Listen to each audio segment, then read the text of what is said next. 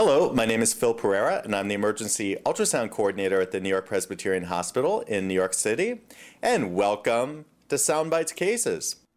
Let's begin by reviewing the four standard views of the cardiac echo exam.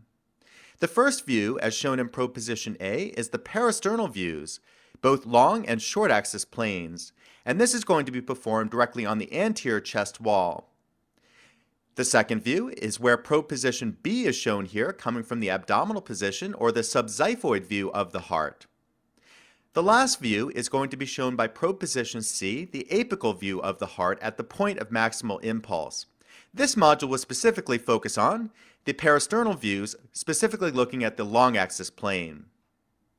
There's a great deal of information we can get from the parasternal long axis plane, so let's learn how to perform the examination. For this examination, it's optimal to use a small footprint phased array type probe that can easily sit between the ribs. We're going to place the probe just left of the sternum at about intercostal space 3 or 4, with the marker dot on the probe aimed down towards the patient's left elbow if the patient's left elbow is down by the side. That's with the caveat that the ultrasound screen indicator would be over towards the left of the screen. This will align the probe in the long axis of the heart. Occasionally, it can be somewhat difficult to get a good view of the heart from this plane, and moving the patient into the left lateral decubitus position can sometimes help imaging from the parasternal long axis plane of the heart. So now let's take a look at the images that we'll obtain by performing the parasternal long axis view of the heart. Here's a nice pictorial to the left, and what we see is that the most superficial structure will be the right ventricle. Notice that the right atrium is not seen from this plane. Directly posterior to the right ventricle will be the left ventricle, and to the right of the left ventricle will be seen the left atrium. We can also see the mitral valve in between the left atrium and the left ventricle, and a little bit of the aorta above the left atrium. Let's look at the ultrasound still image here to the right, and again we see the superficial right ventricle. Posterior, we see the left ventricle with its more muscular and hypertrophic walls. Notice the left atrium as seen to the right of the left ventricle and the mitral valve in between the two chambers. We categorize this as left ventricular inflow tract. Note the aortic valve sitting right above the left atrium, and we see a little bit of the aortic root there. This is what we categorize as aortic outflow tract. Let's now take a look at the parasternal long axis view of the heart in action. Remember again that the most superficial chamber will be the right ventricle, and the normal dimensions of the right ventricle are that it should be about half the size of the left ventricle. If the right ventricle is the same size of the left ventricle, that could be a sign of RV strain.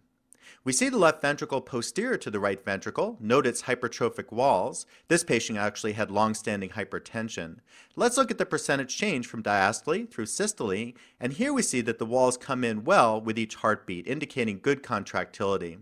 We see the left atrium to the right of the left ventricle, and notice the mitral valve flipping up and down in between the left atrium and the left ventricle.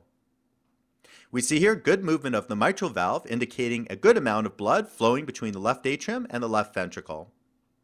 Now, just above the left atrium and to the right of the left ventricle, we see the aortic valve.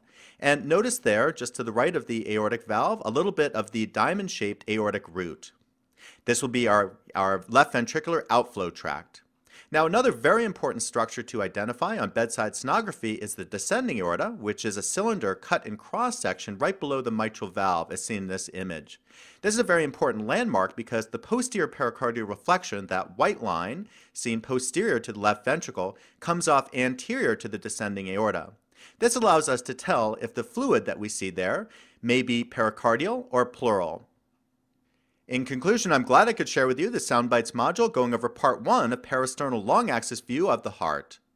There's a great deal of information that we can gain by looking at the parasternal long axis view, looking for left ventricular contractility, the presence of a pericardial effusion, and also the possibility of right ventricular strain. So I hope to see you back in the future as we're going to cover further modules going over the parasternal views, the subxiphoid views, and the apical views. So I'll see you back as SonoAccess continues.